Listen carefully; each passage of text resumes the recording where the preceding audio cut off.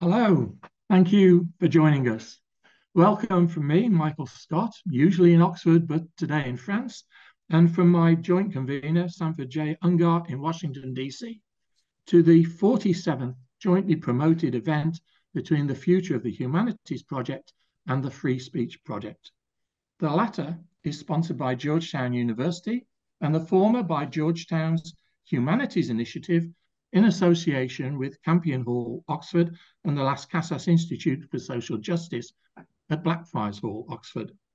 Together, the two projects consider issues concerning human dignity, rights, cultures, histories, traditions, and freedoms in a wide spectrum of educational activity, policy, expression, and aspiration. In a moment, I'll hand over to Sandy, who is director of the Free Speech Project. He will introduce today's distinguished guests and moderate the ensuing discussion before I return to chair the question and answer session. From the start, you can type in questions to the panel by using the Q&A button at the bottom of your screen. Please do not use the chat button, but just the Q&A button. These questions will come to me during the session, and I will try and put them to the panel to consider in the second part. We urge you to ask your questions as and when they occur to you so that we don't get a bottleneck at the end. So I'm looking forward greatly again to this, uh, to this very important discussion today. Over to you, Sandy. Thanks very much, Mike. Uh, distinguished indeed our panel today, Baroness Shami Chakrabarti, who is a labor peer in the House of Lords, and a tireless campaigner for human rights around the world. Uh, she is the author of On Liberty, I suppose, with apologies to John Stuart Mill, and uh, a number of other works talking about the importance of human rights and human affairs. Uh, Ronald Krotoszynski directs the program in constitutional studies and the initiative for civic engagement at the Law School of the University of Alabama in Tuscaloosa, I believe, in uh, the southern part of the state. One of the people who upholds the banner of free speech and free expression in the southern part of the United States. Um, Adrian Shahbaz is from Freedom House, a private nonprofit organization that uh, looks over uh, freedom in the world, publishes a volume every year telling us how the various countries in the world are doing in respecting individual and, and group freedoms. And he is in charge of reports like the annual on freedom on the internet, nations in transition, and other new work on transnational repression. Lord William Wallace is the Liberal Democratic spokesman for the Cabinet Office and Constitutional Issues also in the House of Lords. He joined the Liberal Party as a student a few years ago, fought five parliamentary elections, and led the party's manifesto in the 1979 and 97 elections. So he's got a lot of history on this subject. In 1996, he was appointed to the House of Lords as a Liberal Democratic spokesman on foreign affairs and defense.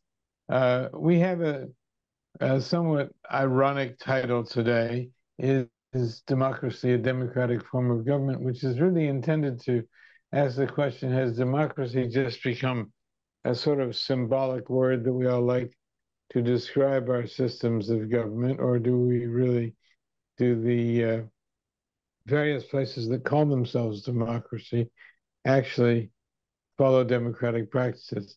I'm going to turn first to Adrian Shahbaz from Freedom House because he has a sort of catalog and can tell us what the trends are and and uh, where things seem to be happening in this in this domain right now.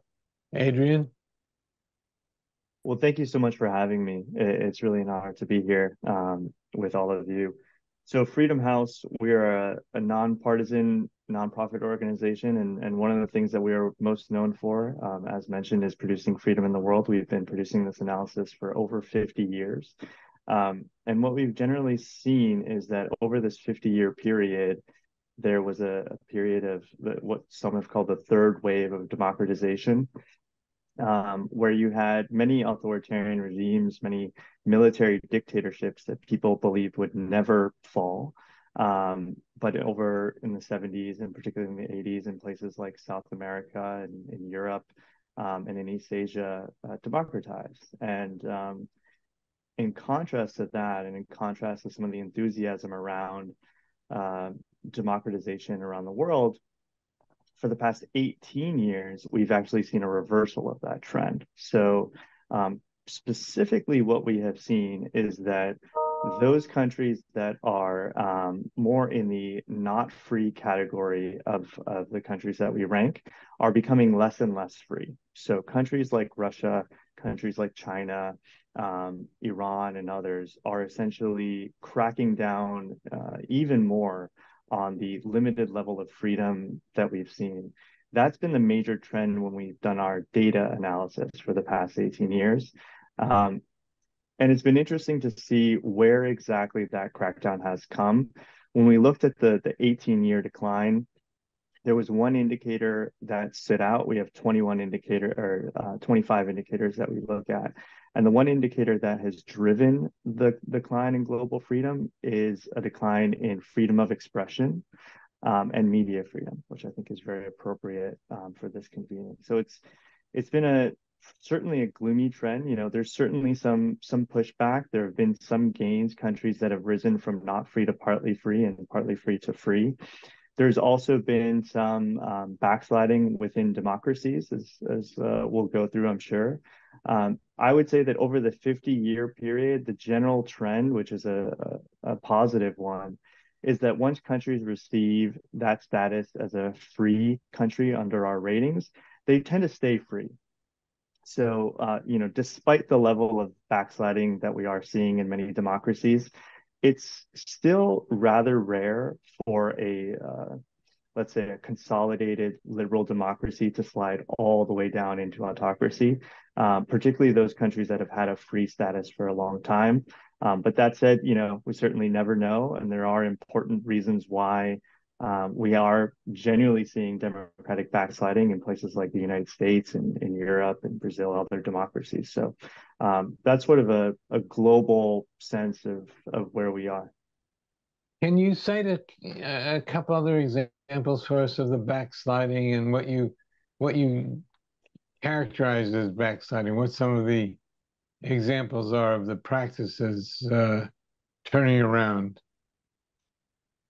Of the reversing of the backsliding? Well, or actually, the, of the backsliding itself. Of the backsliding itself. I'm sorry. Sure thing. Sure thing. So um, we generally see it starting within uh, restrictions on civil liberties. So, um, you know, we generally start to see the passage of laws that um, restrict what journalists are doing, um, increased obligations on academics, um, on the private sector as well.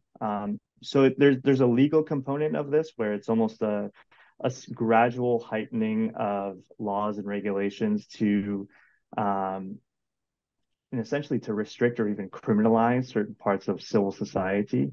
Um, we see that. I think India is a, a really mm. important example of this, where um, you have all sorts of laws, laws on um, foreign contributions, laws on tax, um, laws on um, on elections, where uh, are on the spreading of so-called false news that are then weaponized against government opponents. So it's essentially using the rule of law to crack down on true democracy, on, on one's political opponents.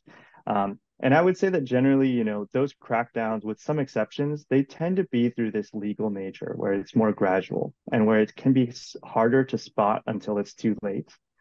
Um, you know, it's really seldom that we see a wave of arrest. There are certainly countries that are more on the partly free spectrum, um, where you, I'm thinking of a Nicaragua or um, or even places like, um, well, some of the more less free countries as well within um, South America, where you start to see a, a, a, large crackdown on civil society. You see political prisoners being um, imprisoned, places like Tunisia, in Venezuela, um, in Thailand as well, where we're starting to see more and more imprisonments of the political opposition.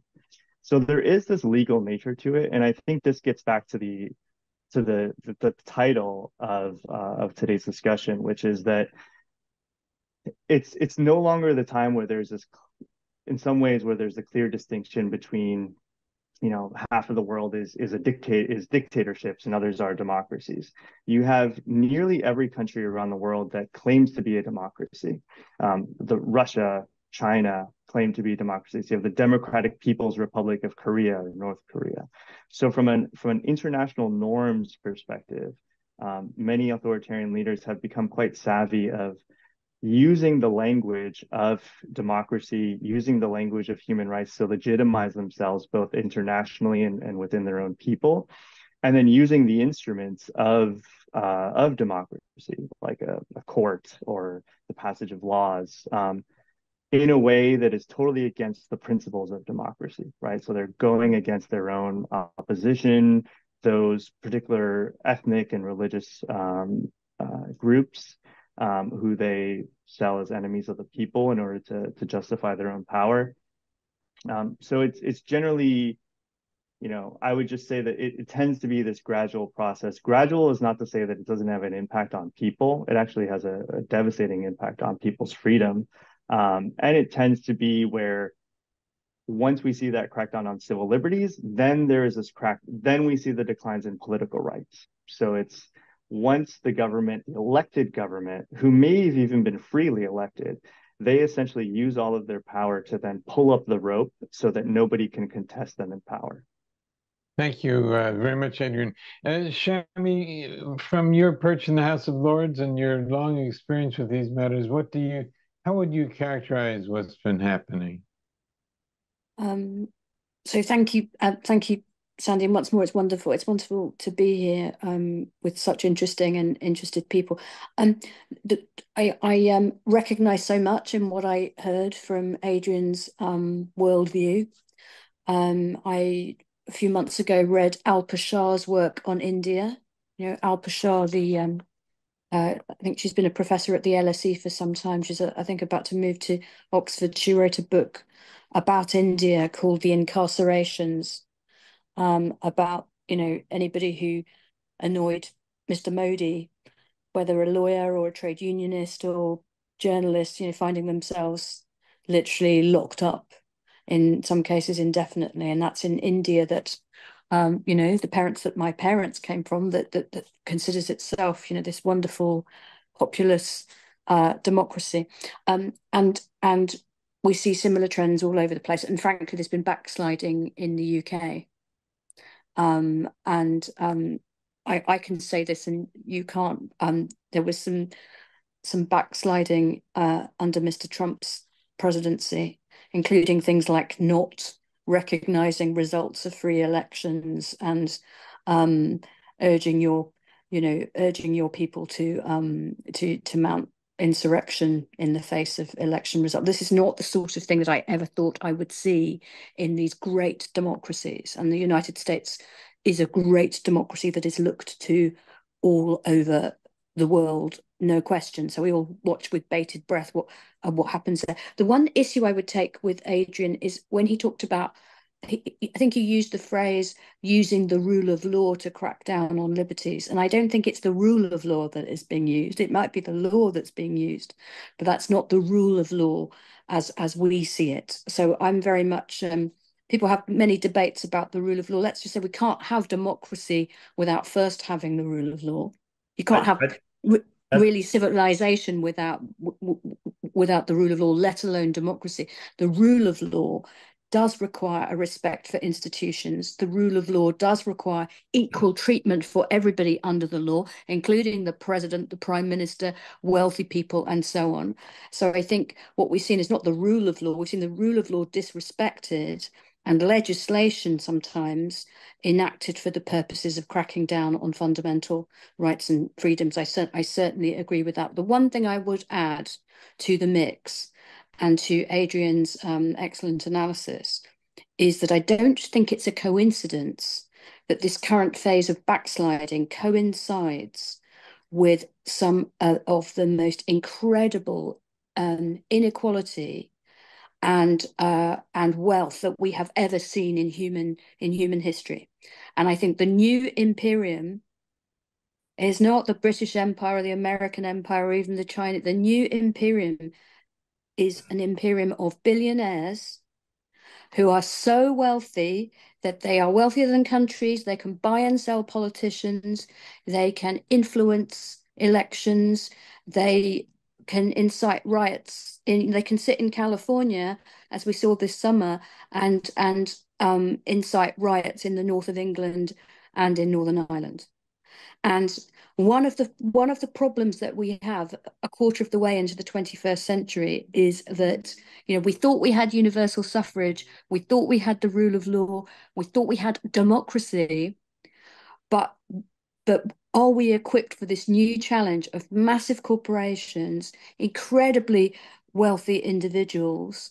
You mm-hmm. could argue that you know their share their shareholders have suffrage, but do the people working in an Amazon warehouse or um, receiving orders and directions and threats from Elon Musk? You know, where is the democracy in that, and are we capable of protecting any semblance of democracy if we can't, as an international community, start uh, holding these these massive corporations and the and the billionaire bros who own them holding those corporations to account. Thank you, thank you, Shami. Uh, William Wallace, are are you surprised by these developments after your long career, after your uh, work on the metaphorical, if not physical, barricades of democracy? I'm no, I'm not at all surprised. Uh, I thought the euphoria when the Soviet Union collapsed uh, was overdone, particularly in the United States. And I spent some time trying to help some of these former socialist countries uh, develop democratic institutions. And as they discovered how difficult it was, you have to have a decentralized market economy and you have to have the rule of law, which takes some time to establish because it's a matter of culture as much as anything else. And uh, the problems of how to establish a well-regulated market economy, uh, which is what a democracy needs, come up against uh, capitalists uh, and financiers who want to make sure that they get the money. So I agree strongly with uh, Shami that the economic dimension of democracy is a very important one. Um, I remember well Dani Rodrik, Turkish economist now at Harvard, saying that uh, you can have two of three fundamental things democracy, national sovereignty, and global economic integration. And global economic integration, which concentrates wealth in uh, a number of limited hands, is a real problem for democracy, which has to be nationally based.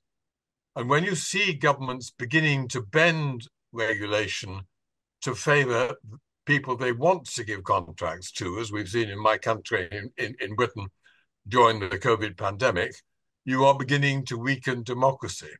That's a huge problem when the rapid spread of technology, for example, does concentrate power in a small number of mainly US based corporations.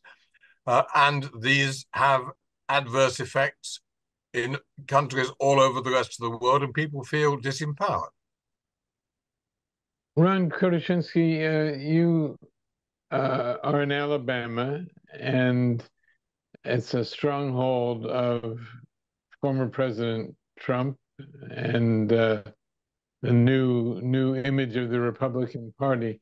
And and I just wonder what you can say about your your neighbors there about do they feel that they are strengthening democracy? Do they uh, do they see themselves as fighters for democracy? Well, I, I think many uh, devotees of uh, MAGA view themselves as supremely committed to democracy and democratic self government. And uh, the Republican Party in Alabama, which is MAGA dominated, uh, achieves 60, 70% results. I think this goes to a bigger question that we haven't really addressed as to whether democracy itself is a desirable, uh, at least unfiltered, uncut democracy is a desirable form of government. And I'll lean in on a fairly famous Brit who's no longer with us, a couple actually, uh, Ronald Dworkin, uh, mm-hmm. who wrote lucidly and repeatedly about the idea mm-hmm. that democracy without any guardrails is not a particularly attractive form of government. Certain decisions, like whether you worship, who you worship, what you worship, mm-hmm. what you do in private, uh, what you read, what you don't read, all of these sort of fundamental decisions that are constitutive of human identity uh, have to be made freely by the individual and without the coercive power of the government. The fact that a majority of people believe that everyone should be Southern Baptist or no one should be gay uh, is entirely beside the point in, in, terms of creating a fundamentally justly ordered society. So there's that. Uh, and I want to go uh, also to something that uh, uh, Baroness Chakrabarti said about rule of law. Uh, I've recently published a book with Oxford, mandatory plug, Free Speech as Civic Structure. And what I found across democratic self government is that, as between a text, a parchment tiger, to use Madison's turn of phrase, and independent courts, ideally vested with the power of judicial review, if you want democracy and free speech, and free speech is integral to democracy, you need independent courts, ideally vested with the power of judicial review. Uh, and in fact, in the UK, Anthony Lester made, along with Ronald Dworkin, made this argument over and over. And these incremental reforms, like the Human Rights Act 98, got adopted, but the judges still don't have a full power of judicial review. That said, British courts are excellent. They're staffed with very thoughtful, careful, and independent jurists. And we can see why the courts are so essential, right? Politicians, as two of our panelists have noted, are self interested. When they regulate elections and electoral speech, they're going to do so to make their reelection easier, not harder. So, for example, malapportionment. Uh, if you wait for a malapportioned legislator to reapportion itself, it's going to be like waiting for Godot. In fact, the Supreme Court of Japan, which has uh, invalidated legislation fewer than 10 times since 1947 and democratic government in Japan, uh, has done so to get rid of malapportionment. Why? Because if you don't get rid of malapportionment, uh, it's never going to be fixed. And it's fundamentally unjust for one voter to have 10 or 20 or 1,000 times the voting strength of another voter. Uh, and you look at places like Russia, which had an independent court, which Putin systematically destroyed, and places like Hungary and Poland. I mean, Donald Tusk now is trying to figure out how to fix the Polish courts after Law and Justice has systematically tried to politicize them. But if you want free speech, if you want democracy, you have to have an umpire that checks the worst impulses of the incumbent legislators. And the UK has that. I don't, when I fly to London, I don't worry about being thrown in a gulag. Uh, the judges are there. And even before the Human Rights Act, they were protecting speech, both the appellate committee of the House of Lords and the Court of Appeal. I do think judicial review would be a nice, formal judicial review, a nice add on. But a lot of these countries, the first thing the, the uh, would be authoritarian does is destroys the independence of the courts. And if you want to figure out whether free speech is protected, you're far more likely to find it in a country that has independent courts mm-hmm. than in one that has a free speech guarantee and a written constitution. It, when when Adrian was going over the, his sort of list before, he mentioned Nicaragua, which strikes me. I'm old enough to remember in the 70s the fight, the struggle for freedom in Nicaragua, the dictators of decades and decades were being overthrown by the so-called Sandinistas, named for the uh, Sandino, the great uh, uh, rebel of Nicaraguan history, and the the people who came to power. It was a great. It was quite a lot of controversy over this in the United States. People took sides. The Reagan administration mm. tried to shore up the so-called Contras who were opposing the revolution there. Well, the revolution in Nicaragua turned out to be a revolution right back to the times of Somoza. After all was said and done, the repression in Nicaragua today is probably as severe as it has ever been. And there's one man, Daniel Ortega, who uh, who calls all the shots and and so um, I think for at least people of my generation, this must be particularly uh, demoralizing. Uh, having stood up, having mm. having declared oneself in various places to be on the side of the people, on the side of, of popular democracy, only to have the popular Democrats turn into autocrats who are who seem more efficient at it than anyone than anyone before. So so why should people not be discouraged? Uh, Shami, we might come back to you on this. Why is it not discouraging to see something like that happen in a row? It's incredibly discouraging. Look, I'm I, I'm occasionally discouraged myself. Um, a, a, shameless plug for my own book, um, which is recently out called Human Rights: The Case for the Defence.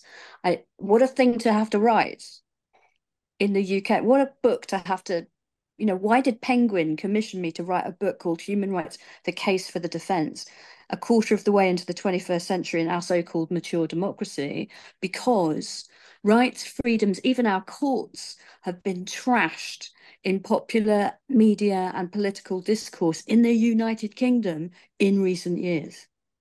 You know, I am nostalgic for Reagan and Thatcher. I'm a woman of the Democratic left. I am nostalgic for Reagan and for Thatcher compared with what we've seen um, in the in the Conservative Party, the Republican Party in the US, and the British Conservative Party in recent years. Why?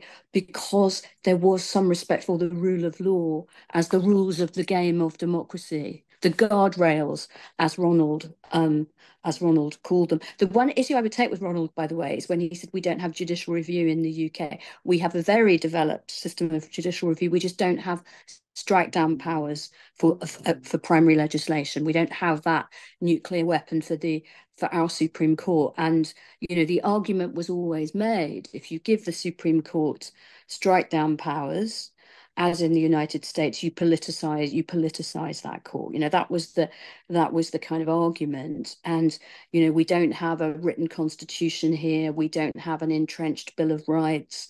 We took the you know many of us took the view for years that that was okay. We had a nice evolved gentleman's agreement of a of a constitution. I used to take that view. I'm not sure I take it anymore because I think the problem with a gentleman's agreement is what is the agreement when the gentlemen have all left the room, and the sort of the sort of assault on rights and freedoms and even the judiciary and lawyers that I've seen in recent years in the UK, forget other scary places, has been really has been really quite something. So you're right. The threats to um, the threat threats to what I think of as democracy, which has the rule of law and fundamental rights and freedoms at its heart. The threats can come from left and right. We use this word populism a lot. We throw it around. We call people hard left and far right. What do we mean by that? For me, the definition of somebody who is is a threat to democ is a populist threat to democracy is someone who does not believe in those institutions does not believe in the rules of the game does not you know um, does not take that bipartisan approach that the great ronald dworkin i think of him as american by the way but the, the great ronald dworkin wrote about in all his work. But that lovely 2008 uh, book is democracy possible here that he wrote for a political lay audience, suggesting that Republicans and Democrats could have could agree around certain fundamental values. That that that settlement seems to be seems to be under threat from left and right at different times um, all over the world. But there are still some of us flying the flag and still trying to, you know, still trying to to believe and advocate for those values even today. William, let, us ask you to take up uh, Dworkin's question. Is, is true democracy possible in this world we're living in right now? Well, you know, we can all argue about what true democracy is. Uh, there's a clear distinction between liberal democracy and popular democracy. Um, if you take the Federalist Papers, which were written to justify the US Constitution as an example.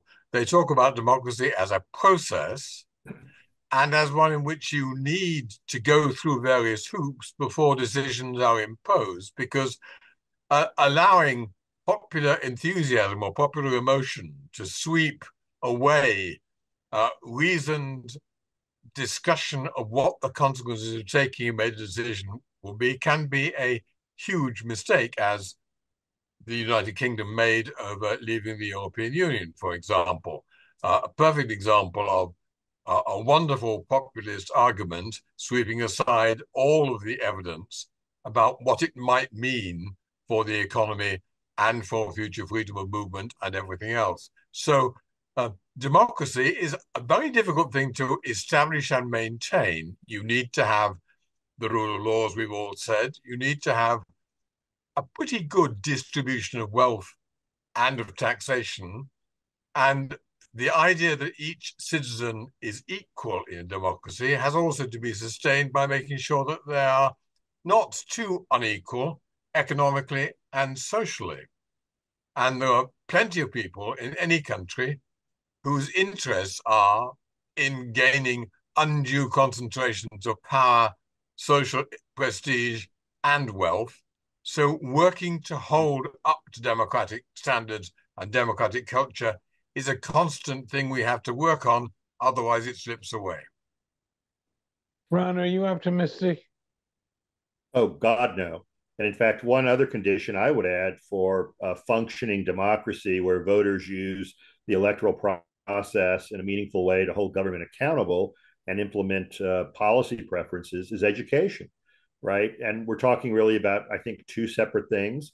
Uh, and I can't speak to the UK, but here in the US, uh, constitutional literacy is abysmal. People don't know what the Senate is, what the Supreme Court does. Uh, they when Donald Trump says if I if the president does it, it's legal. They don't have the ability to to assess the validity of that claim under the terms of the Constitution. So when you have voters who don't understand the institutions of government or the doctrines they animate it, like federalism and separation of powers, it's hard to see how they're going to make prudent choices. Uh, we also don't have media literacy. So uh, J.D. Vance and Donald Trump have been saying that uh, Haitian immigrants in Springfield, Ohio, mm. have been stealing and using as food uh, local pets, cats and dogs, geese and ducks in the local parks. Blatant lie. Everyone in Springfield, Illinois, said it's false. J.D. Vance continues to to perpetrate this lie, this libel on this community, and yet, and yet, and yet, polling data from reputable companies shows that 52% of Republican voters in the United States believe these immigrants are stealing Fluffy the cat and Spot the dog and making them into barbecue. Uh, we had ping, Comet Ping Pong uh, in 2016 with Hillary Clinton being accused of running children in a uh, trafficked way in a brothel in the basement of this pizza. A guy from North Carolina went to liberate the kids and shot the place up. Uh, so we have just uh, an ocean of disinformation and misinformation we have Elon Musk perpetrating it with uh, deep fakes of Kamala Harris in a Communist Party outfit. And uh, so we have these media moguls in the US who, under the First Amendment, appear to be able to permit or censor whatever they wish. I don't know why Elon Musk or or Mark Zuckerberg is to be preferred to Joe Biden or Merrick Garland. Mm-hmm. Censorship mm-hmm. is censorship, and we need to think more carefully about the processes of democracy and the yes. marketplace of political ideas. But we we have so many problems with both the ability of people to receive and assess the validity of information and therefore the ability to cast well informed, rational votes. And I would point to Finland as a country that's actually done a really good job with at least media literacy, which they put great emphasis on. But to go to the points made uh, by uh, Lord Wallace and uh, Baroness Chakrabarti, Finland has very little wealth inequality. It's a very wealthy mm-hmm. place. They have high levels of education. And so they have the social conditions necessary mm. to create citizens who are capable of self government. Jefferson said if you expected people to be successfully self governing in a state of ignorance, you want something that has never been and will never be across the entire history of humanity. Ditto Dewey, uh, uh Dewey ditto uh, uh, uh, Alexander Meiklejohn. So I don't know what the other panelists think about how to fix the process of democratic deliberation, but here in the United States, the word that comes to mind is a is an R word beginning with F, uh, and uh, I, I'm deeply pessimistic about our election. Uh, we have voters in a state of ignorance, complete ignorance. You're breaking my heart professor you are breaking my heart because when from this side of the pond you know we watch american movies everyone's taking the fifth and you know one has this sense that that surely kids growing up in american schools well, at least can recite their their bill of rights but you're painting a a, um, a much more a much more de- depressing picture but of course um, I mean, I think some. I think it was William who said earlier that um, we have the tension between you know globalization of the economy and democracy which must be national. Well yes it yes of course as national democracies are very important as a unit of of, of self-determination and self-governance. But international treaties and international human rights conventions in particular are supposed to help um, help um, create a rule of law for the world, for you know, for, for the world, and um, and and help us prevent wars and and all the rest of it. I do think that we need some tre new treaties in addition to our post-war settlement governing things like the internet. Um, I, I I don't think we are. I don't think we're as developed as we need to be in relation to holding these tech these tech emperors to to account. And, and then we're squabbling over taking back control and brexit and this that and the other and even squabbling about elections when actually people are governed by whoever they're governed by apple google um, you know the social media platform formerly known as twitter. People are living in this new continent. I think of the internet as a new continent but it is largely ungoverned. There are no sheriffs on that new continent, let alone formally developed democratic and, and legal systems. Adrian, um, one, one of the aspects of democracy, if I may just add, one of the things which commends democracy at the minimum is that it has term limits. Elections come and you can throw the rascals out and have someone else in. And what we've seen in the last two election cycles in the United States is that that's been challenged first by the uh, January the 6th riot in Washington and Trump's refusal to recognize the election result. And this time, as it seemed to start with, that we had uh, two men roughly my age, and I'm very glad I'm not going to be standing for office in the near future, um, who were refusing to step down uh, and not offering a really wide choice. Thank goodness that's changed a little. But democracy does also require that those in power recognize when the time comes, they should step out of power. Adrian, you sent out a dog's breakfast for us earlier that's been picked over now. Uh, I, I, wonder, uh, first of all, what some of your reactions are to what you've heard, but also, are there some places that make you optimistic? Uh, Ron mentioned Finland. Uh, are there some other places that give you hope? Yes, thank you. Well, I would say, let me start by saying I, I align myself with with much of what um, what the fellow panelists have said. I think they've they've all made some really great points here. On um, I wanted to touch on on the broader link between globalization and the backlash against globalization and where we are now and, and bringing it back to democracy. So um, the Baroness was right to point out that um, you know the 18 years of decline coincides with the sort of apex of economic globalization. It also coincides with the entry of uh, China into the World Trade Organization, um, as well as the rise of the internet. And I do think that these trends are somehow linked. Um, and what I would say is that right now, it's a very interesting time to be talking about global democracy, um, whether that's about the state of democracy within countries or at the international level um, through human rights treaties and the work of the UN, because we're going in a totally different direction. And I think what's interesting, if I might just outline what I think that that direction is, I don't think we have to go that way, but it's it's what is the the resurgent theme in a lot of countries right now is the backlash against globalization. And there are good things that come with it, and there are bad things that come with it. Um, I myself am a child of globalization. I mean, my parents are from very different backgrounds, uh, Afghan and Italian. Um, they met in France. I was born in the United States. I've been able to, you know, live in many different countries and work at, at in many different places. So I'm you know, in some ways, I've I'm benefited tremendously from the the opening of the world, right, and the opportunities that that has provided from people, including people from um, lower economic backgrounds or from countries that are um, outside of the sort of core.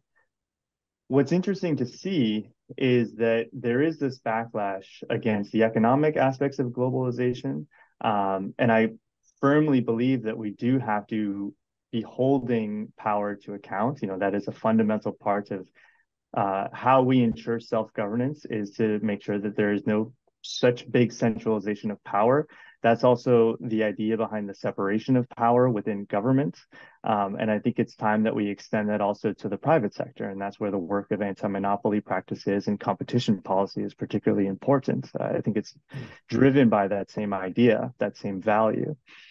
But what we are seeing is this backlash against the other. You know, it's essentially a backlash against pluralism and I think that is particularly dangerous. You see this in the United States, you see it in places like India, um, throughout Europe with the rise of the far right.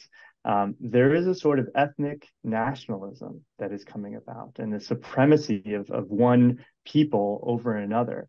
And these anti globalization um, ideas are channeled into that to say that we are, we as a people need to take back power.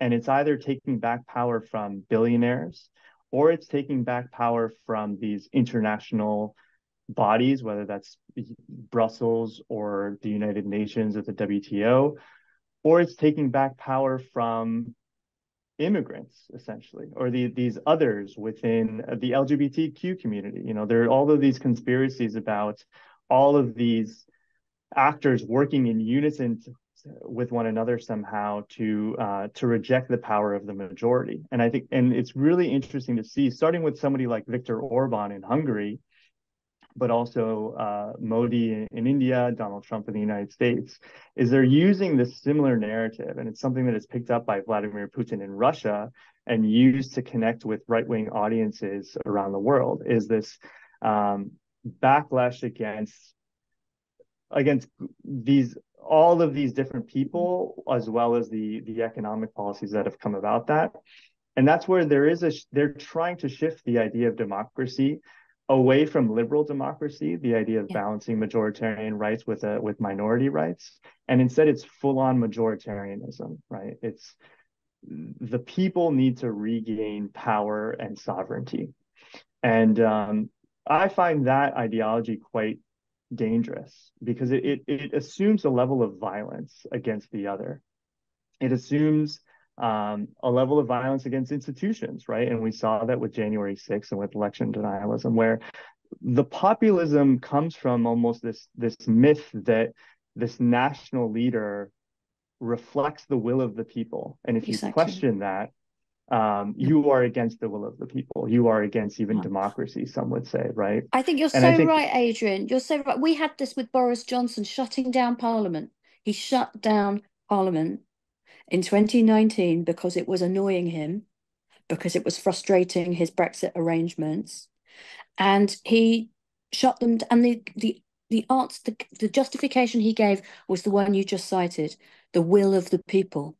So you have this charismatic hard man leader, whoever it is, and they've got a direct line to the will of the people. The irony is, of course, they're usually quite wealthy.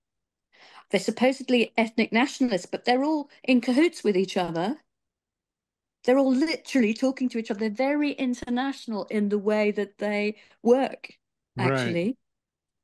And they're selling this bill of goods to the people and saying I've got the will I've I've got the will of the people. It is um you know it's it's not new. I mean there are similarities with the 1930s. It has to be it has to be said. Except you know we've got even greater challenges with the technology and so on as you described. But I think we just have to you know the lib- the liberals, if you like, the constitutionalists, the rights people have to have to find ways to cooperate and to and to respond. But, but how, add just one uh, democracy is broken. Uh, people, voters in the U.S. are in echo chambers. They're on social media in groups that sort by ideology. So if you're in MAGA, you're not listening to Hillary Clinton or Tim Walz or Kamala Harris. You're listening to Tucker Carlson and Sean Hannity. So, and social media makes money. We know this from the Facebook whistleblower by keeping people angry and riled. So uh, people exist in echo chambers where everyone is saying the same thing and they're siloed so that the kind of deliberation and engagement, which is really critical, Alexander Meiklejohn makes this point very clearly, uh, that is essential to a functioning uh, democracy that produces decent government. simply can't exist. And, and the profit motive of these corporations, Facebook, X, uh, yeah. YouTube, uh, uh, uh TikTok, uh, is to encourage anger mm-hmm. and balkanization, not dialogue and engagement. So, if all of us were talking about how to make the government better, I think we could probably work it out. We might have some differences, but we would talk to each other. Uh, people in the US don't engage. They're in tribes, and the degree of polarization is off the charts.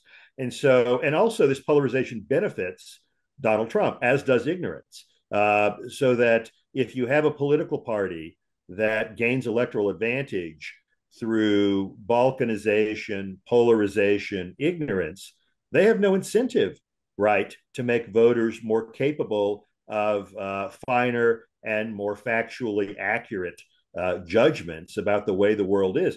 Trump has been saying, for example, that foreign countries pay tariffs. Most Republicans believe this. They don't accept that the tariff is passed on by the seller of the good or service to the consumer. So how do you, you know, he says China is going to pay the tariffs, and most Republican voters uh, believe this. How do we operate democracy in a marketplace of political ideas that's full of sewage? I, I don't think I don't have an easy solution. Education, uh, but there's no interest in educating people by those who benefit from ignorance. I'm sorry I have to be the fly in the ointment, but I'm deeply pessimistic about. I'd, I'd, just like to throw in that, that freedom of the press is one of the most difficult things we all have to cope with in democracies now because we want a free and diverse media, but what we have are profit driven media and the new very powerful tech companies, uh, which have interests in biasing what you hear. Um, we in Britain are watching the Nevada court case on the future of the Murdoch family holdings and therefore the future of News Corporation and the ownership of some important newspapers uh, and uh, broadcasting companies in the UK as well. So, how we make sure that what your average half interested voter learns about what's happening in politics uh, and what the, the major issues and difficulties are, does require us to regulate the press and the media much more tightly than we've done in a number of countries until uh, recently. Mm-hmm. Well put. Uh, I'm going to interrupt the dialogue right now to say that it's about time to go to back to Mike Scott and talk about the questions that have come in. Uh, there is room for more questions in the Q and A uh, button if anyone else has something else has something they'd like to submit right now. But um, Mike, we'll ask you to take over with what you've already got to work with. Thanks, uh, thanks very much. Can I just say thank you to to the four of you for just such an amazing discussion that we're having at the at the moment. Uh, there's a question in from uh, Tony Eade. He says, there has been no mention, I think, of the importance of local democracy government. I think, Ronald, you, you mentioned something about it uh, recently, but he says there's been no mention, I think, of the importance of local democracy government, which has been hollowed out in the UK, despite some success, arguably, with introducing regional mayors. Do panelists think that the centralization of power within democracies has been a significant factor in the widespread loss of belief in the importance of democracy. I mean, it, it turns to the UK, so perhaps Shami, I can go to you. Yeah, I, I think that's a very good point um, that that questioner makes. I think you get cynicism from um, from the cynicism about democracy comes from a sense that it's not delivering and um, and false expectations. So one of the things we've seen in Britain, I think, is is um, um, we've seen austerity. We've seen extreme austerity in the last fourteen years in relation to public spending. Um, and a sort of blaming of local government. We've seen a, a, gathering of economic and political power in Westminster in, in central government and a blaming of local government for not delivering the services including in particular social care for older people, which is a which is a huge, huge challenge that's not been really gripped by anybody yet in in the UK. And uh, it's very easy for central government controls the purse strings and then blames local government for not delivering the services. Yeah. And that is a yeah. recipe for enormous cynicism about politics on on on behalf of, of, of the citizens. You also have corruption. You also have local government corruption. Let's be clear about that. And contracts, construction contracts, and uh, and planning um, uh, decisions. You know, for your mates. That that that happens. People can see that happening uh, in their communities and you know before their eyes. So a combination of that false expectation um, and the expectations being being you know being trashed and corruption at local level is a, is yes, it's another layer of disappointment that breeds cynicism. But Shami, doesn't that uh, reflect what's been going on at the top as well? I know, I know we've had yeah. Uh, uh, but if you've if you've got blatant blatant uh, uh wrongs going on in in yeah. government, uh, deceptions of people giving huge, huge, unbelievable uh, contracts to their mates, of course that becomes a norm within society, doesn't it? That yeah. becomes a norm at the local level, and the society yeah. itself it starts to crumble. You know, the rot at the top uh, I mean, fortunately, oh, I mean, absolutely. I mean, look, we talked we talked a lot. We, we using noble, you know, noble language about the rule of law and so on. But you know, at the basic, at the most basic level, it's supposed to be one rule for everybody. And when you can see before your eyes day after day that that is not the case, whether it's parties in number 10 Downing Street during lockdowns when you can't go to see your dying parents in the old folks' home, or whether it's people giving contracts to their mates, or you know, whatever it is, it it it breeds enormous cynicism and disillusionment in democracy. Uh, in, and it's also the, the economy, the world economy has become so much less linked to localities. Uh, mm. 50 to 100 years ago, uh, if you worked in a town, uh, the, the person who employed you was highly likely to live within the same town. You might hate your employer, but you knew him.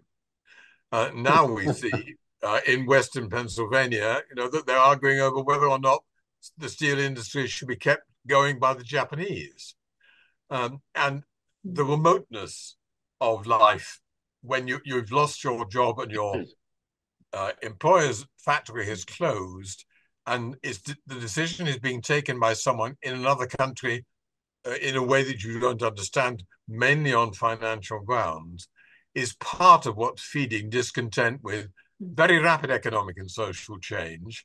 And the sense of, of disempowerment is very strong, and that certainly feeds populism. So, how we cope with the very rapid economic change we're going through, the challenge of climate change, which also uh, poses all sorts of threats that people see immediately, uh, and the political response to that and the economic measures which that requires the states to take in are all extraordinarily complicated and not easy to explain even to educated publics. I, I, do think in the US, though, that to the extent democracy functions, it functions best at the local level. Uh, I'm coming to you from Staunton, Virginia, where I have a home, and uh, the city council here is readily accessible to the people. You see the people running the city in the park, at the grocery store, at the PTA meeting, uh, and you can't help but interact with your neighbors. And since you're living with each other and you know each other, there's a natural tendency not to be an ass right? So that there's a level of engagement, positive engagement, dialogue, compromise that exists at the local level that doesn't seem to exist at this to the same degree certainly at the state or federal level. In fact you know we now have about 800000 constituents per house member. And uh, you know if you're in california you're one constituent of 33 million of a senator. Most americans have never met their member of congress or their senator and will never interact with him her or they much less a president or vice president they do meet their mayor, their city councilman, uh, their district attorney. And so I do think and, and believe quite strongly that if people actually engage with each other in real time, even if they fundamentally disagree, it is possible to forge compromises and to achieve common goals and objectives. And to me, that's the problem at the state and federal level. Uh, we don't have that engagement anymore between people who fundamentally disagree. Local government, I think, in the United States, most places works pretty well and enjoys high levels of confidence relative to the national government. I do hear what you're saying about funding, though. I've I've even read here in the U.S. about the problems in Birmingham, or I suppose I should say Brum, not Alabama, but but England, and it's terrible, right? Because the Birmingham government or Brum government uh, is being uh, charged with turning, you know, uh, lead into gold or getting blood out of stones. How do you hmm. provide these social services and avoid bankruptcy when the purse strings are in Westminster and you yeah. lack meaningful home rule powers with respect to taxation? I it's a huge problem. You have power without a, you have you have accountability without power and this is maybe where your constitution helps you. Maybe this is where constitutionalism and the, the American model is helpful because there's a little With bit federalism more... and, and meaningful yeah. home rule in most states yeah. where cities are yeah. largely independent of their state governments. For example, in Alabama, most cities have policies against discrimination that are comprehensive and include gender status and sexual hmm. orientation. Our state legislature would probably never pass such a law, but in Birmingham, it's illegal to deny housing or employment based on sexual orientation or gender status. Mm-hmm. Why does Birmingham get to do that? The state constitution and state law guarantees a modicum, more than a modicum, of home rule to municipalities, and they are responsive to the needs, wants, and desires of their constituents. People in Birmingham, Alabama, don't want employers discriminating. Simply put. Oh, I, I spent really years of my life living in Ithaca, New York, and I have great uh, joy dealing with a very, very local government. The problem is that uh, in the world we now live in, you need uh, high level governance uh, to sort out a large number of problems. And you actually also need, as you're discovering in the United States, that the transfer of funds from the richer areas of the country to the poorer, mm. and indeed from richer countries to poorer countries. So um, we have, for example, uh, a new prime minister in Britain who's been in power for what, four months at most, Shami, who had uh, spent a great deal of his time since he became prime minister out of the country in international meetings. And currently he's in New York at the UN General Assembly. Uh, I don't think he wanted to do that at all. When you're the head of a government in a, in a, a large or small country, you find on your desk a large number of problems that can't be dealt with purely at the national level, and you have to go and negotiate them internationally. That's very hard to explain to the average elderly voter sitting in Birmingham, Alabama, or Pittsburgh, Pennsylvania, and if in Pittsburgh, Pennsylvania, fed up that he's lost his job. Agreed. Uh, Mike, if I may interject one thing quickly, I, I, yes. I think I think Ron has had uh, an idealistic experience in this small town in Virginia where he has a home where there are many cultural and educational institutions to support this sort of civic health.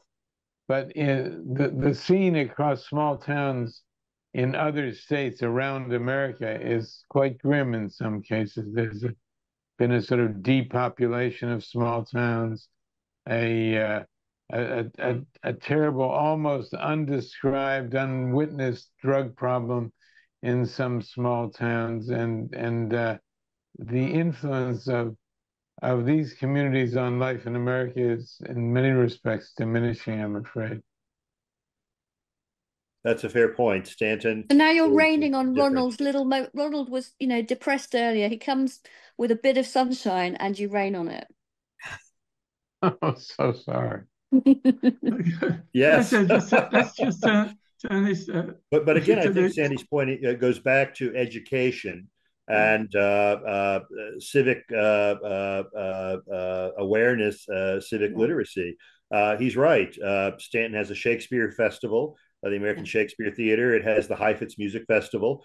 the main employer is Mary Baldwin College. It's a town of about 30,000 whose main industries, if you want to call them that, are educational and cultural. And that draws a different kind of community. And I hadn't thought about that, but I think that's exactly right. But I think it just proves the point, at least, or provides a datum uh, point uh, for the idea that uh, for democracy to work, you need well educated, engaged citizens. And so I think the challenge is whether national and international organizations will make efforts not only in places like the UK and the United States, but in, in uh, the global South, in places mm-hmm. like South Africa, where the EFF is a populist challenge to the ANC. Uh, and advocates a lot of programs that I think would be deeply problematic economically for South Africa, or the nationalism we see yeah. under Modi in India. Uh, yeah. It's not just you know the, the U.S. and the UK are, are actually in pretty good shape, uh, relatively speaking. If we're talking about democracy globally, my mm. God, I mean the problem is astonishing and uh, its scale is is breathtaking and I don't really see any concerted effort. And maybe I'm, you know, uh, perhaps Adrian can can educate me. But if there are transnational efforts to increase civic literacy and just literacy literacy uh, in the global South in democratic polities, uh, who's doing the work and how is it going?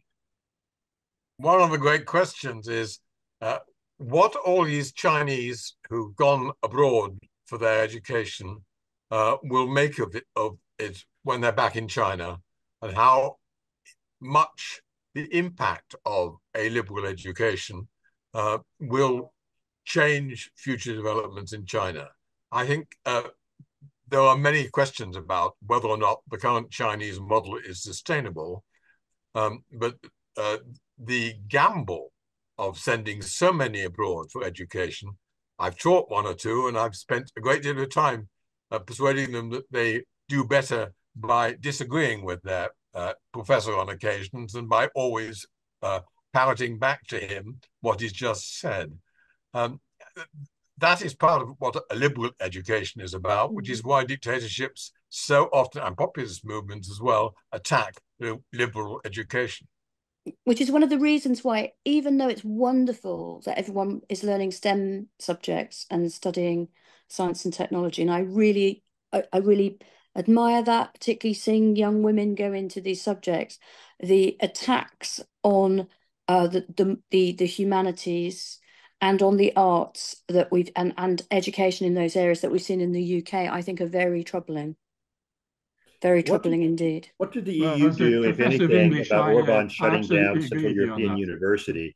That was clearly an attack on academic freedom. The university was globally recognized for its excellence, and it was run out of Hungary. What did the EU, what did Brussels do in response to CEU being driven out of Hungary uh, by local law? Anything? I mean, there has to be some yeah. consequence, right, to anti-democratic yeah. behavior. I, I think that's a very, very fair. I think that's a very, very fair charge to lay at the the EU's door. Actually, that it's not, you know, the tests for membership and continued membership are not supposed to be purely economic. There is supposed to be a freedom element, a, a human rights element too, and the and I, I think that's a, I think that's a that's a fair that's a fair charge actually. I, I really think do. that gets back to this idea of, of economic globalization and democracy. And so the, where we are right now is there's been a flattening of um, and almost a, an amoral view to trade where it doesn't matter yeah. who you're trading with it doesn't matter who we're uh, integrating ourselves with economically it will be a net positive for all yeah. and i mean certainly when you look at the influence within china um, you know the, yes. the the billion of people who've been um, brought out of um, out of poverty uh, and continue to be i mean there, there's benefits to it but what we're now seeing is this backlash and whether that's the backlash against the role that china plays um, around the world and, and in the global south, whether it's the backlash of um, Hungary within the European Union. Um, we're in this moment now where we've seen that our connectivity to authoritarian mm-hmm. countries or countries that are undergoing significant backsliding is actually making us quite vulnerable. Yeah. And we don't necessarily have the tools, or we're, we're in the process of building the tools for pushing back and I think it's a, it's a really interesting question, and it gets back to something um, thinking about the United Nations and even the internet. Yeah. I would just you know something really niche here. There's currently a treaty that is being negotiated on cybercrime. It's a UN yeah. treaty on cybercrime, which is a, a really large, you know, oftentimes legitimate issue, right? But it's a treaty that has been driven by Russian diplomats from the very beginning. And essentially, they've been using this treaty to impart their own norms on what type of behavior can be considered a crime, and then uh, get banding together with other authoritarian governments to see this pass through the General Assembly within the coming weeks. And the U.S. is currently deliberating whether you know the U.S. should be signing on to this. And it's a treaty that you know it's international cooperation, but it's when it's international cooperation mm. that is driven by bad actors or let's say mm. like bad faith actors, it actually results in uh, lessening freedom and increasing vulnerabilities within democracies too. So this treaty yeah. would allow for then um, Russia, for example, to request information about people that have uh, committed so you know cyber crimes or any sort mm-hmm. of crimes within Russia. And you can think about all of the things that are criminalized within Russia. And through the United Nations, through this treaty, it will allow them to request from other governments, whether that's China or France, to receive information that might be stored on data servers located in those countries about any particular person who they want to go after. So it's really interesting that our our connectivity, you know, our cooperation is actually used against ourselves and against our values. And I think that's where there is an interesting pushback that is starting to develop. Um, I think that it's just it's so important that that pushback against the harms of uh, globalization or connectivity is balanced and that it doesn't mm-hmm. actually in many cases i think it's through more democracy it's through more transparency more openness more education whatever it might be that we get out of it it's not by becoming um, which is i think where the hungaries and others are is that they're trying to survive in the 21st century by becoming more authoritarian by by looking at places like china or the smaller city states of Singapore and the UAE mm. as like a model for how to govern their yeah. societies. Can I, can I come in now, Adrian? Can I hang yeah. on just a minute? There's, a, there's another question in which uh, I'm coming towards the end. So there's a question in from uh, from Margaret Schuster, uh, who who asks how easy it is it. I'm just going on to something kind of local now. How easy is it to fiddle the results of elections, especially in the digital age? Different part, there's different mechanisms for fiddling. So I'll just kick it off by saying, you know, something that we keep getting back we haven't got very long though. Yeah, go ahead. Yeah. Go so back to the media here, you know, I think the key tactic that we see used is control over the media. Yeah. And, um, you know, particularly when getting back to the local governance versus national governance, when so much of the media is focused on national conversations and where they're setting the agenda um, around the national conversation, and it actually gets people away from the real issues. And that's where it's, it, essentially driven all independent media out of the country. Um, you, if in India, using the cronies who are so close to the Modi government to then purchase um,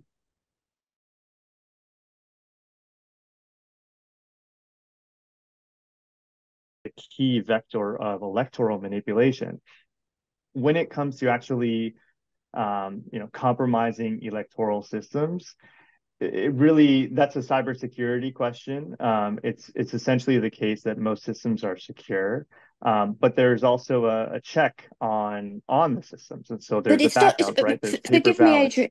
Forgive me, Adrian. It's not just a cybersecurity question because you can you can nobble elections in old-fashioned ways too. Right. You can yeah. introduce hurdles before people can register. We've just had photographic identity introduced in the in the UK um, before you can go and vote. And that is a huge, that's a significant obstacle to, to, to, to lots of people. There are all sorts of old fashioned ways of, um, of nobbling, um, of nobbling elections, postal votes, um, um, voter ID, um, you know, just queues that don't get processed, people lining up into the street, and then the the, the guillotine comes down at ten o'clock at night, um, and downright intimidation probably in some places as uh, yeah. um, uh, as well. Uh, yeah. the, the, it's possible to suppress voting, which is what uh, uh, Shami's talking about. It's possible to manipulate voters. Certainly, yeah. I agree with Adrian about that. But if in the United States you know, is Virginia's electoral count system going to be hacked and manipulated? Is mm-hmm. Vladimir Putin or Xi Jinping going to stuff our ballot boxes? No, but that's not the relevant question, right? I think both of you are correct to say voter suppression and voter manipulation are pressing and important uh, and more problematic probably than the mechanics of actually tallying the vote. Mm. Yeah. William, do you want to say anything on this? No, I, I, nothing new about electoral manipulation. I, I, recall being told about a, a by-election during the Second World War in which, at a crucial point in the third recount, uh, a, a, a, collection of ballots was discovered to have been stuck underneath the duck boards during the counting process. Um, the right to scrutinize elections is clearly extremely important, and the right to, to report on them through the media is also vital. Uh, and I note in the in some states in America uh, arguments about who is going to be allowed in to watch the count taking place, and that's a very dangerous thing. In in the United Kingdom and in most other mature democracies, members of the different parties are invited to watch the hmm. count just to make sure that it is free and fair and accurate. Thank you. I'm going to start to uh, bring it to a close now. Can I just say, uh, Shami, as a professor of English, I absolutely agree with uh, with what you said. What uh, about the humanities? The decline of the humanities is uh, is a real danger for democracy and for our country. It's very, very uh, um, pertinent at the present time. I want to finish really with a, something that's coming from one of our uh, our listeners, uh, whose name's Roger, and he said Howard Taft, who was the American president from 1909 to 1913, spoke on the campaign trail in 1912 on the ability of the American people to see through what he called the misrepresentation and demagogy which had been heard during the presidential campaign. Nothing's new, it appears. Um, what a what a wonderful discussion and a very important discussion. I think we'll get many many hits uh, on on YouTube for this. Um, so uh, thank you thank you all. I just ask Sandy if he wants to say anything before I actually bring yes. well, thank you thank you too, Mike, and thanks to all our panelists. This is just exactly what we aspire to, and uh, the more it runs away with important points, the the better it is in a way. We're thankful to Georgetown University, of course, for continuing to support these dialogues. President Jack DeGioia and uh, Vice President Tom Banchoff, and uh, all our infrastructure, our colleague John McCabe, who uh, runs these programs from month to month without any any apparent stress or any uh, difficulty. So uh, we'll be back next month again, and we appreciate all of our audience joining us. Well, thank you. Thank you, Sandy, for uh, for chairing it. Uh, thank you, Shami, uh, William, Ronald, Adrian. A fascinating and very important uh, discussion.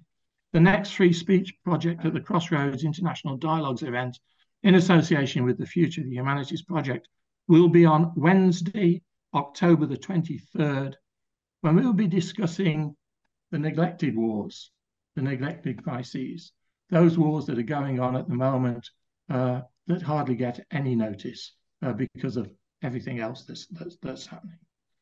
Uh, the series Cultural Encounters, Books That Have Made a Difference, will return on Monday, the 21st of October, when Dr. Philip Booth uh, from St Mary's University, Twickenham in England, will be discussing the welfare state that we're in, Job, James Bartholomew's book The welfare states that we're in.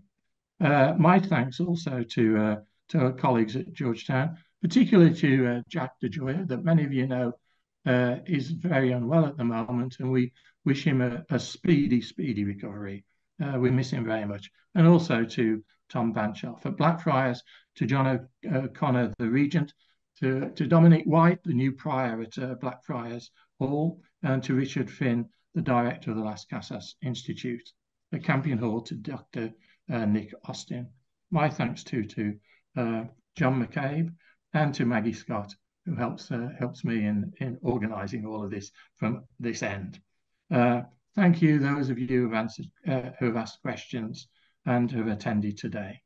I'm Professor Mike Scott. I'm Fellow and Senior Dean at Blackfriars Hall, Oxford. You can follow me on Facebook as Michael Kerr Scott or LinkedIn as Professor Michael Scott. I do not uh, appear on X or whatever it is called. Until next time, take care, keep safe. Bye bye. Thank you. Thank you very much to all.